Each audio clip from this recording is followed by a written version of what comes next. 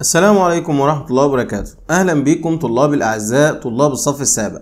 موعدنا اليوم مع المراجعة النهائية لجميع دروس الفصل الأول والفصل الثاني. والمراجعة دي هتكون مقسمة إلى جزئين. الجزء الأول اللي هو دروس الفصل الأول والجزء الثاني اللي هي دروس الفصل الثاني. لو عايزين تتابعوا المراجعتين انزل اشترك في القناة على طول وفعل زر الجرس عشان يوصلك التنبيهات وكمان تشارك الفيديو ده مع كل أصحابك وأعمل لايك للفيديو. إذا الفيديو ده حصل على لايكات كتير مثلا 500 لايك إن شاء الله بعمل لكم بث مباشر. نراجع فيه مع بعض الأسئلة اللي أنتوا مش فاهمينها. يلا طلاب الصف السابع اعملوا تعليقات أسفل الفيديو إن أنتوا عايزين بث مباشر واعملوا لايك للفيديو. وإن شاء الله وعدكم إن إحنا نعمل بث مباشر. تحضروا معايا ونشوف الأشياء اللي أنتوا مش فاهمينها ونشرحها مرة تانية بإذن الله. يلا بينا نبدأ على طول بعد الفاصل. أنا محمود حنفي من قناة تعليم بلا حدود.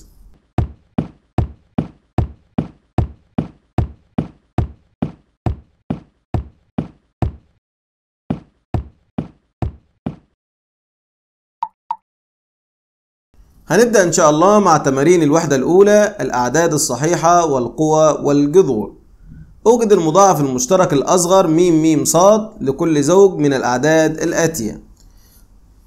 المضاعف المشترك الأصغر معناه إيه؟ طبعا أنا مثلا عندي في السؤال ألف عندي التلاتة والخمسة.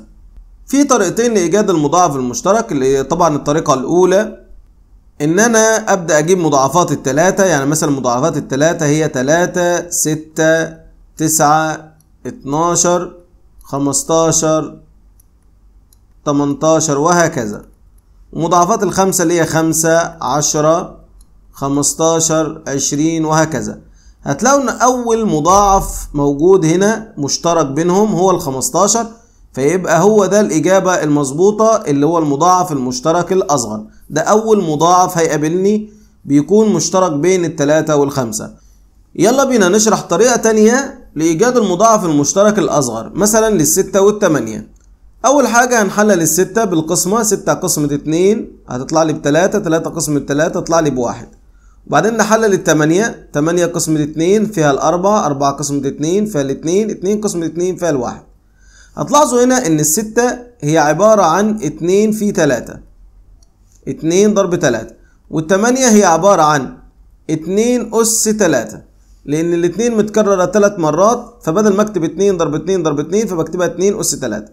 عشان تجيبوا المضاعف المشترك الأصغر تجيبوها إزاي؟ بناخد أعلى أس يعني مثلا الاتنين هنا في اتنين أس واحد وفي اتنين أس تلاتة ناخد اتنين أس تلاتة ده أعلى أس. طب والتلاتة؟ هنا في تلاتة وهنا مفيش أعلى أس اللي هو تلاتة أس واحد يبقى ناخد تلاتة. وبعدين نطلع الناتج 2 أس 3 ب 8 ونضربها في 3 تطلع الإجابة 24 يبقى ده المضاعف المشترك الأصغر اللي هو ال 24 طبعا ممكن تتبعوا الطريقة التقليدية إن أنتوا تجيبوا مضاعفات الستة ومضاعفات الثمانية وتشوفوا مين أول مضاعف مشترك أصغر موجود زي مثل ما عملنا في النقطة ألف اللي هي المضاعفات أو المضاعف المشترك الأصغر للثلاثة والخمسة.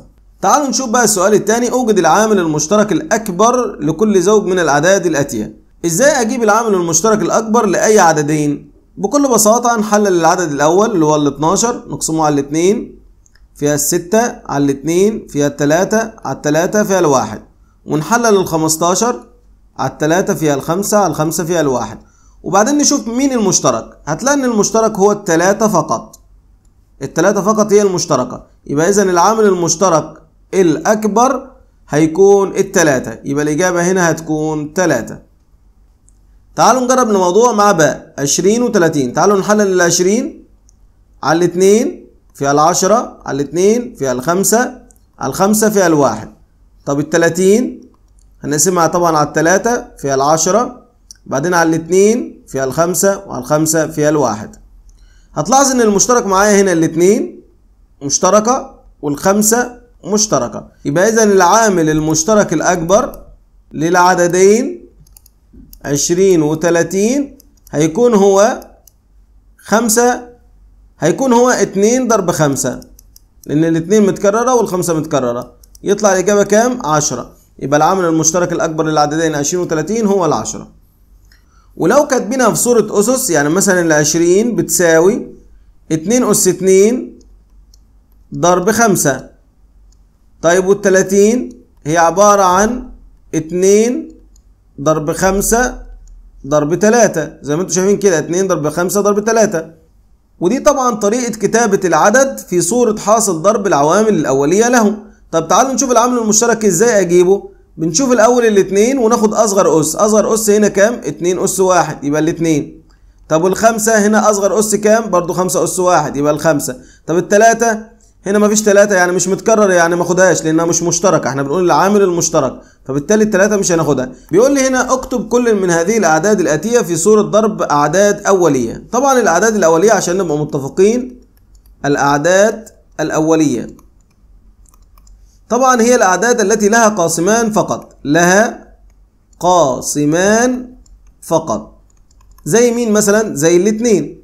الاثنين لها قاسمان فقط. مين هما القاسمان؟ الاثنين والواحد. لأن هي تقبل قسم على نفسها وتقبل القسم على واحد. الثلاثة برضو لها قاسمان فقط اللي هي الثلاثة والواحد. الخمسة لها قاسمان فقط اللي هي الخمسة والواحد. دي اسمها أعداد أولية. دي أولية. أما مثلا لو جينا نتكلم مثلا على الأربعة الأربعة تقبل القسمة على الأربعة اللي هي نفسها وتقبل القسمة على اتنين وتقبل القسمة على واحد. يبقى بالتالي الأربعة لها ثلاث قواسم فبالتالي ليست عدد أولي ليست عدد أولي. تمام؟ وعندنا الواحد له قاسم فقط واحد فبالتالي هذا برضو ليس أولي. يبقى الأربعة طب الستة أي عدد له أكثر من قاسمان أو أقل من قاسمان خلاص يبقى ليس أولي. الأعداد الأولية هي التي لها قاسمان فقط زي الاثنين والثلاثة والخمسة والسبعة والحداشر والتلاتاشر وغيرها من الأرقام الأولية. فأنتوا لازم طبعا تنتبهوا إلى فكرة الأعداد الأولية. هو هنا بيقول لي اكتب كل من هذه الأعداد في صورة ضرب أعداد أولية. يعني مثلا نمسك ال 21 ال 21 ممكن نجيبه في صورة ضرب أعداد أولية طبعا. اللي هي 3 في 7 التلاتة أولي والسبعة أولي. يبقى كده مظبوط. طب ال 22 آه ال 22 هي 2 في 11 والاثنين عدد أولي وال11 عدد أولي. طب ال 35 آه ال 35 5 ضرب 7 والخمسة أولي والسبعة أولي. فكرة إن أنا أجيب الأعداد في صورة ضرب أعداد أولية دي فكرة سهلة جدا وبسيطة. طب خلونا ناخد عدد كده غريب شوية نكتب مثلا 72 ال 72 هي أصلا 9 في 8 طب هل التسعة أولي؟ لا. طب هل التمانية أولي؟ برضو لا. طب التسعة ممكن أحللها؟ آه التسعة هي عبارة عن تلاتة في تلاتة. تمام؟ والتمانية هي عبارة عن اتنين في أربعة. طيب التلاتة أولي؟ التلاتة أولي والاتنين أولي. طب هل الأربعة أولي؟ لا. يبقى نحللها.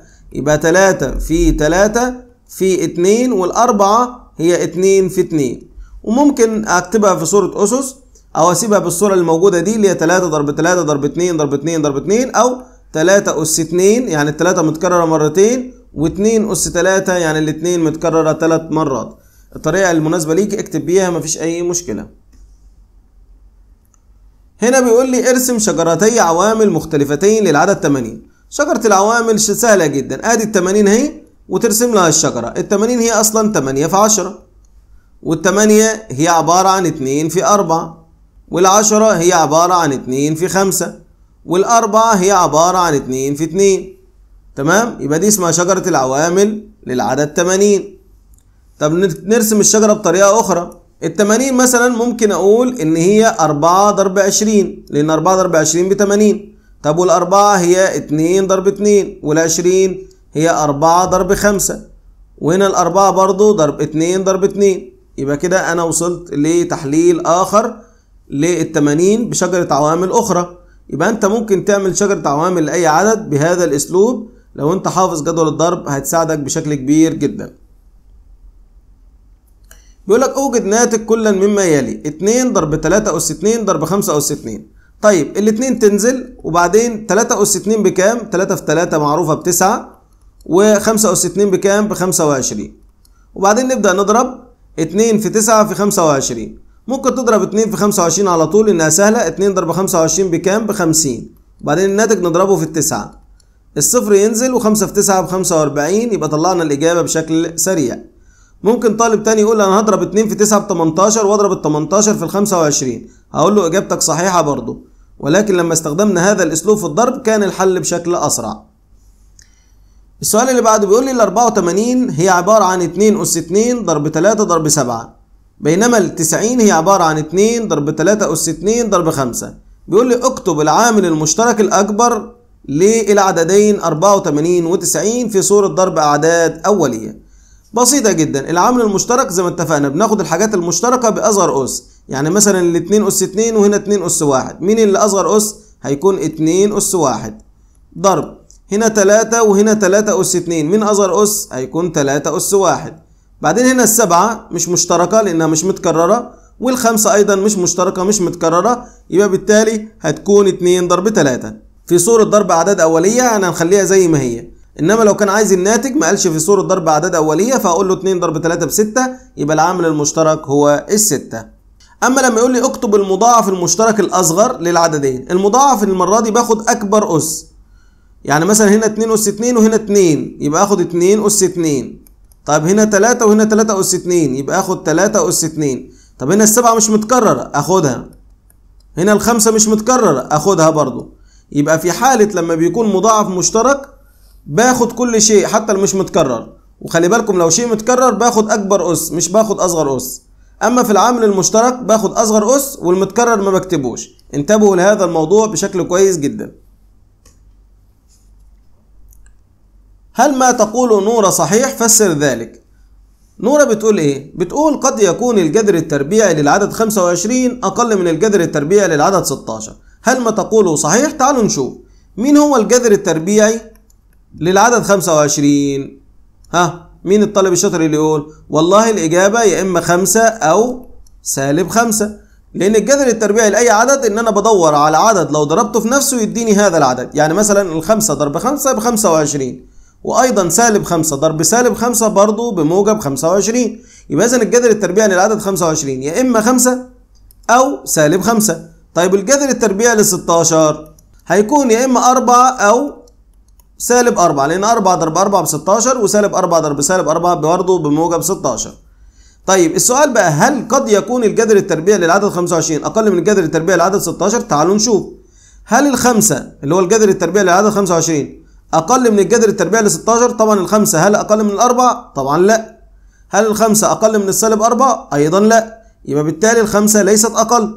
طب تعالوا نشوف السالب 5 هل السالب 5 أقل من الأربعة؟ نعم لأن دي سالب ودي موجب هل السالب 5 أقل من السالب 4؟ نعم أقل منها يبقى هل قد يكون فعلا الجذر التربيعي للعدد 25 أقل من الجذر التربيعي للعدد 16؟ نعم لأن إحنا وجدنا السالب 5 أقل من الأربعة والسالب 4 يبقى هل ما تقوله نور صحيح؟ هنقول نعم هنقول لأن أحد جذور ال 25 هو سالب 5 وهي أقل من الجذر التربيعي للعدد 16 اللي هم الأربعة والسالب أربعة لأن السالب خمسة أقل من الأربعة والسالب خمسة أقل من السالب أربعة.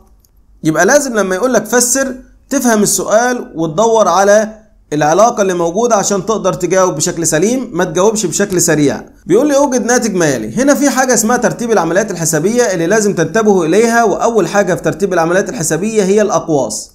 يعني لو السؤال فيه أقواس لازم نعمل الأقواس الأول بعدين الأسس بعدين الضرب والقسمة من جهة اليمين بعدين آخر حاجة الجمع والطرح من جهة اليمين فمثلا السؤال ألف هل في أقواس؟ لا مفيش أقواس هل في أسس؟ لا مفيش أسس طب ندور على مين؟ الضرب هل في ضرب؟ نعم في ضرب 3 ضرب 5 بكام؟ ب 15 يبقى أنا هكتب كده 20 ناقص 15 وبعدين نطلع الناتج 20 ناقص 15 5 هنا في أقواس لا. في أسس لا. طب في قسمة طب في ضرب لا. في قسمة آه في قسمة هنا أهي. 18 قسمة 6 كام؟ 3 يبقى نقول الإجابة 9 زائد 3 يبقى أنا عملت دي الأول. بكام؟ ب 12 هنا في أقواس؟ نعم في أقواس. يبقى نعمل الأقواس الأول. 11 ناقص 2 كام؟ 9 هنا في أسس؟ نعم في أسس. 6 أس 2 اللي هي 6 ضرب 6 ب 36 آه يبقى الإجابة 36 قسمة 9 تطلع الإجابة كام؟ 4 يبقى الترتيب ده مهم جدا. بدونه ممكن تغلط بكل سهولة. فلازم تتبع الترتيب اللي موجود اللي هو الأقواس أولا ثم الأسس ثم الضرب والقسمة من جهة اليمين ثم الجمع والطرح من جهة اليمين. دلوقتي هنبدأ في تمارين الوحدة الثالثة اللي هي الأعداد العشرية والكسور العشرية. ذهبت سلمى للسوق وكان معها 20 ريال. اشترت حذاء بمبلغ 5 ريال و200 بيسة وعباءة بمبلغ 4 ريال و800 بيسة. كم يتبقى مع سلمى؟ الأول طبعا هتشوف الحاجات اللي هي اشترتها ونجمعها. يعني مثلا هنجمع 5 ريال و200 بيسة زائد 4 ريال و800 بيسة. طبعا عشان أجمع الأعداد العشرية لازم يكون الأرقام بعد العلامة بتكون نفس الأرقام. يعني مثلا لو هنا ثلاث أرقام لازم يكون هنا ثلاث أرقام. هنا رقمين لازم يكون هنا رقمين. طب نفترض إن هنا في ثلاث أرقام وهنا في رقمين بس يبقى نزود صفر عشان يكونوا ثلاث أرقام مثلها. وبعدين نبدأ جمع بشكل طبيعي جدا. يعني صفر زائد صفر صفر. صفر زائد صفر صفر. اتنين زائد تمانية عشرة اللي هي صفر ومعانا الواحد. بعدين العلامة العشرية تنزل وخمسة وواحد ستة زائد أربعة عشرة. ده معناه إن هي صرفت عشرة ريال. لأن طبعا مفيش بيسات هنا. كله صفار يعني عشرة ريال سليمة كاملة. فبالتالي الخطوة اللي جاية عشان أوجد ما تبقى يبقى لازم أعمل عملية طرح. هي والله كان معاها عشرين ريال وصرفت عشرة ريال يبقى عشرين ناقص عشرة يديني عشرة ريال يبقى تبقى معها عشرة ريالات. واضحة الفكرة؟ يبقى إذا اشترت مجموعة من الأشياء لازم نجمع الأشياء اللي هي اشترتها الأول بعدين نطرحها من العدد اللي موجود أو من المبلغ الكلي عشان نوجد المتبقي. بيقول لي أوجد ناتج ما يلي 3 من 10 ضرب 2 عشان يكون الموضوع سهل عليك اضرب عادي جدا يعني اضرب 3 في 2 3 في 2 بكام؟ ب 6 وطبعا هنا العلامة العشرية بعد رقم يبقى لازم هنا العلامة العشرية تكون بعد رقم أيضا يبقى 6 من 10 طب مثلا 7 ضرب 3.6 إزاي أضربها؟ عادي جدا. هضرب 7 ضرب 36 اللي هي بدون العلامة. 7 في 6 ب 42 2 ومعانا الأربعة. 7 في 3 ب 21 و4 25 يبقى الإجابة 252 بس العلامة هنا بعد رقم يبقى نضع العلامة هنا بعد رقم يبقى الإجابة 25.2 بنفس الأسلوب في القسمة هنا 7.2 قسمة 3 هنقسم 72 قسمة 3 7 قسمة 3 أقرب رقم ليها هي الاتنين لأن 2 ضرب 3 بستة. ونطرح 7 ناقص 6 واحد والاتنين تنزل. 12 قسمة 3 فيها الأربعة 4 في 3 ب 12 ولما نيجي نطرح تطلع صفر صفر. يبقى إذا الإجابة 24 هنكتب هنا الإجابة 24 ولكن في علامة عشرية بعد رقم يبقى نضع العلامة العشرية بعد رقم. يعني الضرب أو القسمة العلامات العشرية مش هتسبب لك أي مشكلة. أنت اضرب الأول أو اقسم الأول وبعدين ضع العلامة في المكان الصحيح. يدفع كمال 7 ريال و450 بيسة مقابل خمس أكياس أسمنت. ما تكلفة كيس الأسمنت الواحد؟ لما يعطيك الجملة وعايز كيس الأسمنت الواحد أو عايز الجزء الواحد يبقى عملية قسمة.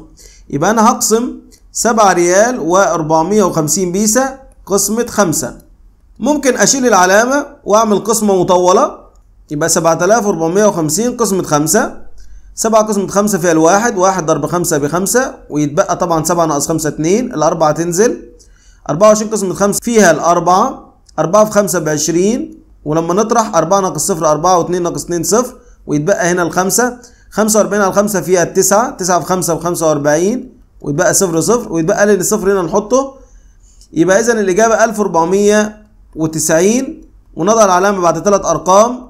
يبقى إذا ريال وأربعمية وتسعين بيسة وده قيمة كيس الأسمنت الواحد. أوجد ناتج عمليات القسمة الآتية بحيث يكون الناتج عددا مكونا من منزلة عشرية واحدة. طبعا عادي جدا هتعمل قسمة مطولة يعني مثلا خمسة وخمسين قسمة أربعة. نبدأ نقسم خمسة قسمة أربعة فيها الواحد واحد ضرب أربعة بأربعة وبعدين نطرح خمسة ناقص أربعة واحد. بعدين الخمسة دي تنزل 15 قسمة أربعة أقرب رقم ليها هو التلاتة. تلاتة في أربعة باتناشر. بعدين نطرح خمسة ناقص اتنين تلاتة واحد ناقص واحد صفر. هنا طبعا زي ما أنتم شايفين التلاتة قسمة أربعة ما تنفع فلازم نضيف هنا صفر ونضيف هنا علامة عشرية. ونقول تلاتين قسمة أربعة أقرب رقم ليها هو السبعة. سبعة في أربعة بتمانية وعشرين. لو طرحنا تلاتين ناقص تمانية وعشرين اتنين. طبعا نضيف صفر كمان عشرين قسمة أربعة فيها الخمسة. يبقى الإجابة 13.75 ولكن هو عايز يقرب الناتج لمنزل عشرية واحدة. فالخمسة تعطي للسبعة واحد لأن الخمسة غنية. فبالتالي تكون الإجابة 13.8 تعالوا نجرب موضوع القسمة المطولة هنا. 7.6 قسمة 6 سبعة قسمة ستة فيها الواحد واحد في ستة بستة. ونطرح سبعة ناقص ستة واحد. بعدين العلامة والستة. طبعا هنا هننزل العلامة. و16 قسمة 6 أقرب رقم ليها كم؟ أقرب رقم ليها هو الاتنين اتنين في 6 ب 12 طبعا 6 ناقص 2 4 1 ناقص 1 صفر يعني 4 هنا الأربعة عشان أقسمها على الستة ما ينفع. يبقى نحط هنا صفر. يبقى 40 قسمة 6 أقرب رقم ليها هو الستة. 6 في 6 ب 36 وبعدين نطرح 40 ناقص 36 تديني 4 طبعا هو عايز لعلامة عشرية واحدة خلاص بنشوف إحنا الستة هنا غنية تعطي للاتنين واحد يبقى الإجابة واحد فاصل تلاتة من عشرة. تعالوا نشوف الأسئلة اللي جاية دي أوجد ناتج ما يلي 33 ضرب واحد من عشرة. لازم تفهموا إن في طريقة ذهنية سريعة لما أجي أضرب في واحد من عشرة أو واحد من مية وهي الموضوع بكل بساطة إن أنا أعكس. يعني مثلا هنا أنا بضرب في واحد من عشرة معناها إن أنا بقسم على عشرة. يعني بدل بدل ما أضرب في واحد من عشرة أقسم على عشرة. والقسمة على عشرة هنا إن أنا أضع العلامة بعد رقم واحد يعني تلاتة فاصل تلاتة. آدي الموضوع بكل بساطة. هنا برضو بضرب في واحد من مية يعني أنا بقسم على مية. يعني أضع العلامة بعد رقمين يعني سبعة وسبعين من مية. طب القسمة تحول إلى ضرب يعني أنا هنا بقسم على واحد من عشرة يبقى بضرب في عشرة. ولما أضرب في عشرة العلامة تتحرك إلى اليمين خطوة واحدة يعني الإجابة تكون ستة وخمسين. هنا برضو نفس الفكرة خمسة ضرب هنا واحد على مية هتبقى مية. يبقى خمسة ضرب مية بخمسمية. يعني من الآخر إذا كنت بتضرب في واحد من عشرة أو في واحد من مية هتحولها إلى قسمة يبقى قسمة عشرة أو قسمة مية.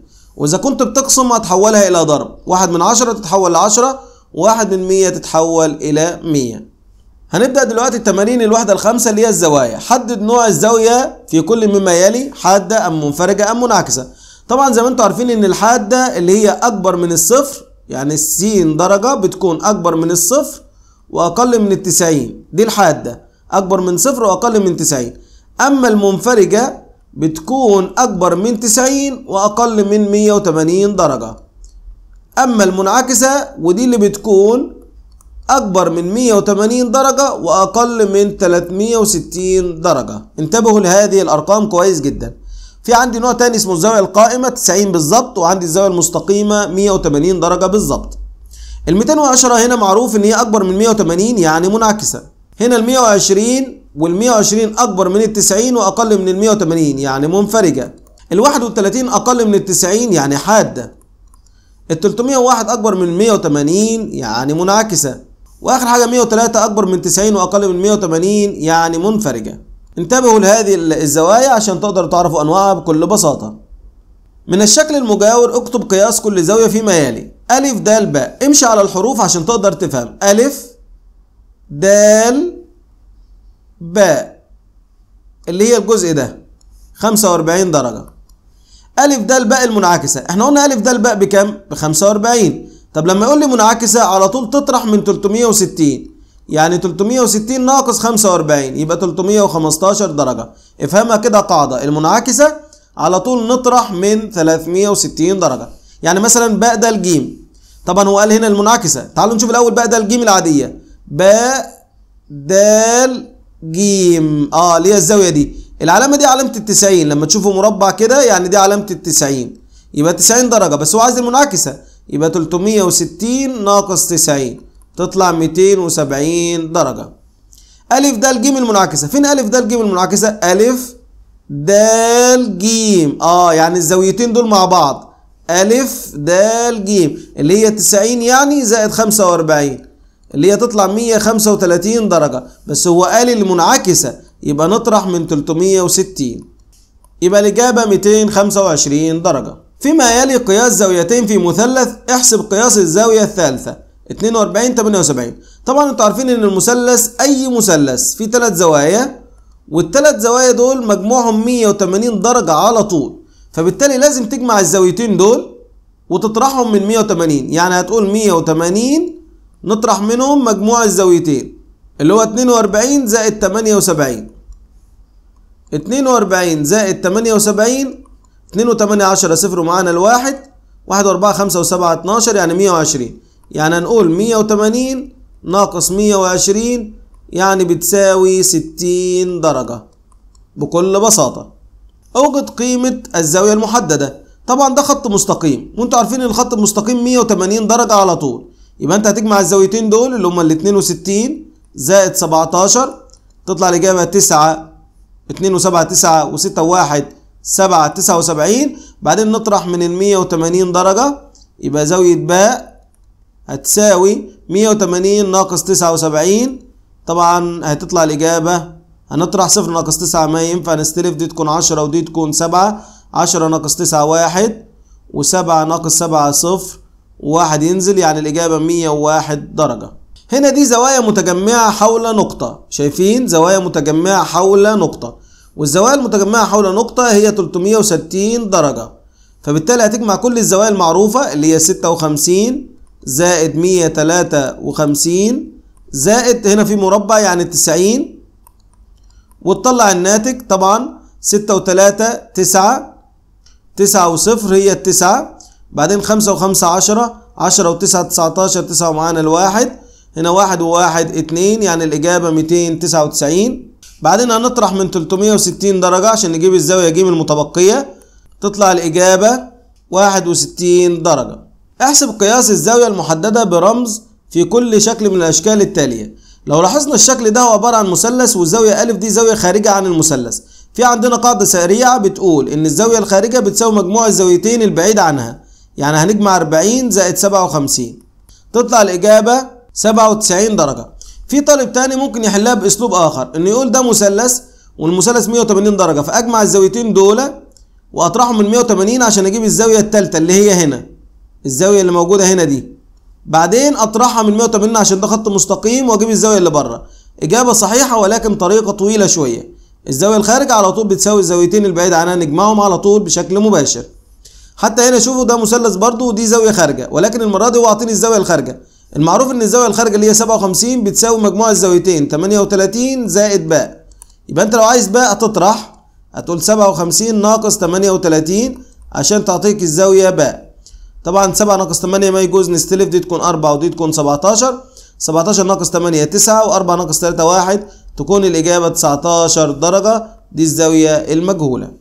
فيما يلي قياس ثلاث زوايا في شكل رباعي الأضلاع. احسب قياس الزاوية الرابعة. كلنا عارفين إن مجموع قياسات زوايا الشكل الرباعي الداخلية 360 درجة. فبالتالي هتجمع الثلاث زوايا دول وتطرحهم من 360 درجة. يبقى الخطوة الأولى نجمع 65 زائد 75 زائد 85 5 و5 و5 يديني 15 5 ومعانا الواحد. 6 و1 7 7 و7 14 14 و8 22 يبقى مجموعهم 225 نطرحها من 360 درجة. صفر ناقص 5 ما ينفع نستلف دي تكون 5 ودي تكون 10 10 ناقص 5 5 5 ناقص 2 3 و3 ناقص 2 1 يعني الإجابة 135 درجة. السؤال اللي بعده بيقول احسب قياسات الزوايا المحددة بالرموز في كل شكل مما يلي طبعا عندي هنا شكل رباعي. لو عديت الزوايا تلاقي 1 2 3 4 يعني شكل رباعي. هو عايز زاوية ألف لازم أجيب الزاوية الرابعة دي الأول. فأجمع دول أجمع 80 زائد 120 زائد 85 طبعا 80 و120 200 200 زائد 85 يعني 285 بعدين أطرحها من 360 اللي الشكل الرباعي هو 360 درجة. يبقى صفر ناقص 5 نستلف دي تكون 5 ودي تكون 10 10 ناقص 5 5 5 ناقص 8 ما ينفع نستلف دي تكون 2 ودي تكون 15 15 ناقص 8 تعطيني 7 وطبعا 2 ناقص 2 صفر. يبقى الإجابة 75 درجة. يبقى الزاوية دي 75 درجة. ولكن هو عايز الألف. ده طبعا خط مستقيم. يبقى لازم نطرح من 180 ونطلع الناتج اللي هو 105 درجة. بكل بساطة. هنا بيقول لي في الشكل المقابل احسب قياس زاوية ألف. طبعا ده مثلث والزاوية دي مجهولة. فهنجيبها إزاي؟ نجمع الأول 45 زائد 60 تطلع الإجابة 105 الزاوية التالتة نطرح من 180 180 ناقص 105 تديني 75 يعني الزاوية دي 75 درجة يبقى إذا ألف بتساوي 75 درجة والسبب بالتقابل بالرأس لأن إحنا عندنا قاعدة إن الزوايا المتقابلة بالرأس متساوية. فسر لماذا طول ألف باء يساوي طول ألف جيم. أدي ألف باء اللي هو ده وألف جيم اللي هو ده. الأول أنا عندي هنا زاويتين معروفين نجمعهم عشان نجيب الزاوية التالتة يبقى 36 زائد 72 ستة واتنين هتطلع تمانية وتلاتة وسبعة هتطلع عشرة يعني مية وتمانية درجة. عشان أجيب الزاوية التالتة هنطرح من مية وتمانين عشان ده مثلث. طبعا مية وتمانين ناقص مية وتمانية تطلع لي اتنين وسبعين. يعني الزاوية دي 72 يعني زاويتين القاعدة متساويين. وبما أن قياس الزاوية باء بتساوي قياس الزاوية ج يبقى المثلث أ باء ج متطابق الضلعين. متطابق إيه؟ الضلعين. وده معناه إن الضلع أ باء هيساوي طول أ ج وهذا هو المطلوب. تمارين الوحدة السادسة اللي هي الكسور. اكتب كل من الكسور الآتية في أبسط صورة. أبسط صورة الموضوع سهل جدا. بنختار رقم ونبسط عليه. يعني مثلا ده 2 ودي 12 نبسط على الاتنين. 2 قسم 2 بواحد و12 قسم 2 بستة يبقى سدس. ودي أبسط صورة اللي ما ينفعش أقسم مرة ثانية. هنا ممكن نقسم على الثمانية. 8 قسم 8 بواحد 16 قسم 8 باتنين يبقى نص. أبسط صورة. هنا ممكن نقسم على الأربعة. أربعة قسمة أربعة بواحد واتناشر قسمة أربعة بتلاتة يبقى تلت. هنا خمسة وعشرين وتلاتين ممكن نقسم على الخمسة. خمسة وعشرين على الخمسة فيها الخمسة وثلاثين على الخمسة فيها الستة. لازم توصل لأبسط صورة اللي هي ما ينفعش تبسط أكتر من كده. السؤال اللي بعده هل صار على صواب؟ بتقول اتنين على سبعة أكبر من أربعة على تسعة لأن الأسباع أكبر من الأتساع هل هي على صواب ولا لأ؟ تعالوا نشوف. اتنين على سبعة وأربعة على تسعة. عشان تقارن بينهم لازم توحد المقامات وتعمل أسلوب المقص يعني تقول سبعة في تسعة طبعا تطلع بتلاتة وستين فيبقى أنا هوحد المقام على تلاتة وستين. بعدين تضرب تسعة في اتنين بتمنتاشر وبعدين تضرب سبعة في أربعة بتمانية وعشرين. هل تمنتاشر على تلاتة وستين أكبر من تمانية وعشرين على تلاتة وستين؟ طبعا الإجابة خطأ. يبقى هل صار على صواب؟ هنقول له طبعا لا. طيب اشرح إجابتك. هنقول له طبعا لأنه لمقارنة الكسور يجب توحيد المقامات. خلاص؟ وأنا لما وحدت مقامات وبعد توحيد المقامات وجدنا أن 2 على 7 أقل من 4 على 9 وليست أكبر. طبعا خطوات الحل بتكون مكتوبة اللي هي التوحيد اللي إحنا عملناه دلوقتي. أوجد ناتج ما يلي ذهنيا نص من 12 بكل بساطة لما يكون البسط هنا واحد بنقسم على طول بشكل مباشر على المقام. يعني 12 على الاتنين هتكون الإجابة 6 ريال على طول. هنا ربع من 20 برضو بكل بساطة هنقسم على المقام. يعني 20 على الأربعة. تساوي كام؟ 5 سنتيمتر. يبقى لما يكون البسط بواحد بنقسم بشكل مباشر على المقام. طب لما يكون البسط أي رقم آخر برضو بنقسم على المقام والناتج اللي يطلع بنضربه في البسط. باستخدام القسمة حول الكسور الآتية إلى كسر عشري أنا عايز أقسم سبعة على تمانية. طبعا سبعة على تمانية سبعة أصغر من تمانية ما ينفعش. يبقى نضع صفر وعلامة ونحط هنا صفر يبقى سبعين على تمانية. أقرب رقم نضربه في التمانية عشان يوصلني إلى السبعين. طبعا عندي تمانية في تمانية بأربعة وستين. نطرح سبعين ناقص أربعة وستين دي تكون عشرة ودي تكون ستة. عشرة ناقص أربعة ستة وستة ناقص ستة صفر. هنحط هنا صفر التاني يبقى ستين. أقرب رقم ليا هو السبعة سبعة في تمانية بستة وخمسين. نطرح ستين ناقص ستة وخمسين تطلع الإجابة أربعة. وبعدين نحط صفر هنا 40 أقرب رقم ليه هو الخمسة. 5 في 8 ب 40 يبقى صفر صفر. يبقى اذا الإجابة 0.875 تعالوا نشوف الاثنين على 9 هنحط لها طبعا هنا صفر وعلامة وبعدين نحط صفر. 20 على 9 أقرب رقم ليها هي طبعا 2 2 في 9 ب 18 نطرح. 20 ناقص 18 2 نحط لها صفر. هتكون برضو 2 2 في 9 ب 18 نطرح هتكون اتنين وهتلاقي الموضوع بيتكرر وده بنسميه عدد دوري لأنه بيتكرر وبنكتبه كده صفر فاصل اتنين وبنحط عليه نقطة. النقطة دي معناها إن عدد دوري أو بنحط عليه شرطة يعني معناها إن هو عدد دوري. تعال نشوف تلاتة على سبعة هنحط هنا صفر وعلامة ونحط هنا صفر. تلاتين على سبعة أقرب رقم ليها هو الأربعة أربعة في سبعة بتمانية وعشرين. نطرح تلاتين ناقص تمانية وعشرين تدينا اتنين. نحط صفر عشرين على السبعة فيها أقرب حاجة الاتنين اتنين في سبعة بأربعتاشر عشرين ناقص أربعتاشر فيها ستة. بعدين نحط صفر ستين ستين على السبعة أقرب حاجة ليها هو التمانية تمانية في سبعة بستة وخمسين. ستين ناقص ستة وخمسين تديني أربعة. ولو حطينا لها صفر هتلاقوا الموضوع مستمر. فممكن نتوقف بعد ثلاث أرقام عشرية أو أربع أرقام عشرية على حسب السؤال. لو قال لي مثلا ثلاث أرقام عشرية يبقى نتوقف بعد ثلاث أرقام عشرية. ممكن نجيب الرقم الرابع ونشوف هيقرب ولا لأ. 40 على السبعة أقرب رقم ليها هو الخمسة خمسة في سبعة بخمسة وتلاتين. ده أقرب رقم. والخمسة تعطي للتمانية واحد يبقى نقربها نخليها تسعة. ده لو إحنا عايزين ثلاث أرقام عشرية. باستخدام الكسور المتكافئة رتب الكسور عشان أرتب الكسور ترتيبا تصاعديا أو تنازليا لازم الأول تكون المقامات موحدة. طيب أنت عندك هنا التمانية لو بصينا هنا الأربعة والاتنين ممكن أخليهم تمانية. إزاي؟ الأربعة لو ضربتها في اتنين طبعا لازم نضرب في البسط والمقام يبقى أربعة في اتنين هتكون تمانية. طب والاتنين لو ضربتها في أربعة؟ برضه هتكون تمانية. يبقى كده المقامات أصبحت بإيه؟ موحدة. تلاتة في اتنين بستة وأربعة في اتنين بتمانية. هنا واحد في أربعة بأربعة واتنين في أربعة بتمانية. هنا وتلاتة على تمانية. كده أصبحت المقامات إيه؟ موحدة. فبالتالي أقدر أرتبهم أرتب الكسور ترتيبا تنازليا من الأكبر إلى الاصغر مين أكبر حاجة؟ طبعا الستة على 8 أكبر حاجة. وبعدين الأربعة على 8 وبعدين التلاتة على 8 عايز ترجعهم لأصلهم اللي هي التلات ارباع أكبر من النص أكبر من 3 على 8 طبعا في المسألة دي هم جم مترتبين بس طبعا في المسائل التانية ممكن ما يجوش مترتبين. فلازم توحد المقامات وبعدين ترتب. أوجد ناتج القسمة في كل ما يلي ثم أكتبه في صورة عدد كسري. طيب إزاي اكتبه في صورة عدد كسري؟ تعالوا نقسم بالقسمة المطولة العادية. 13 على 3 أقرب رقم ليها هو الأربعة 4 في 3 ب 12 و13 ناقص 12 واحد. هل الواحد ينفع نقسمه على الثلاثة طبعا ما ينفعش فده بيسمى باقي.